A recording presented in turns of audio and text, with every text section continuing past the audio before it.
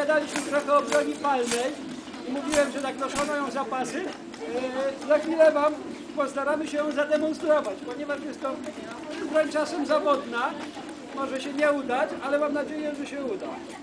Najpierw ja strzelę ze swojego bandoletu, następnie kolega strzeli z muszkietu, a potem jedna osoba z Was będzie pomoże naładować ten muszkiet. Dobra?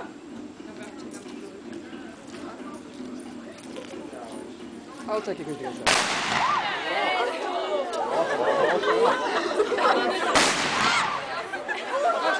Można powąchać jak